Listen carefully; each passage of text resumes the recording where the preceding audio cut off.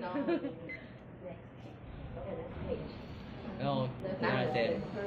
Not. Such a shame. Uh-huh. It's one of the. most okay. Representative building power because of the pearls you need to dig through to keep them.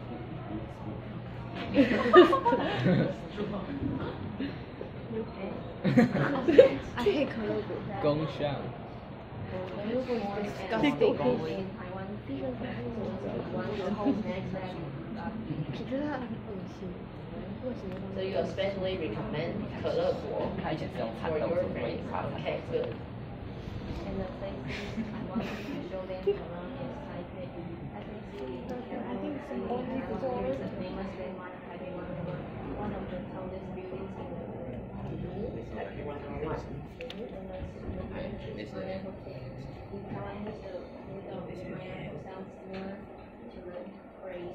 here comes prosperity.